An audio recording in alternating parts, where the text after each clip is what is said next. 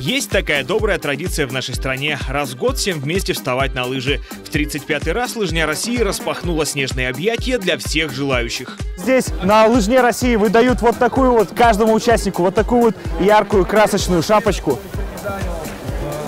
Ну и, конечно же, любое соревнование не обходится без порядкового стартового номера. Я готов. Дети, родители, профессиональные лыжники, ветераны спорта, бабушки и дедушки и даже тюменские моржи. И у каждого своя цель. Решил э, попробовать себе показать пример детям, которых привез.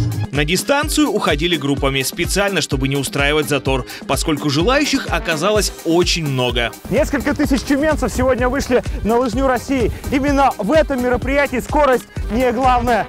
Главное – участие.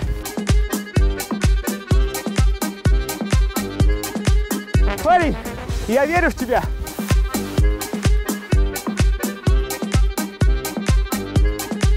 Фастфуд зло.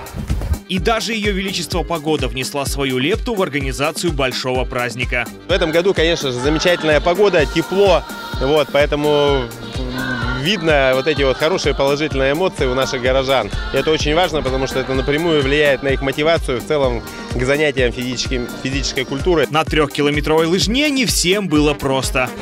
Сложно тебе сегодня? Нет. Да. Чего не получается?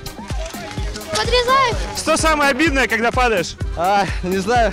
Возможно, не мое незнание катания на лыжах вообще дало о себе знать. К слову, были среди участников и те, кто совсем недавно начал осваивать зимний спорт. Три километра сможете преодолеть? Бегал, да. Да. А кто ваш любимый лыжник или биатлонист? А, я это не знаю.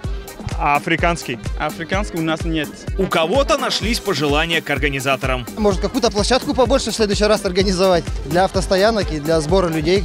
А так все отлично. Практически все участники массового забега добрались до главной цели – финиша. А там их уже поджидали организаторы с памятными дипломами.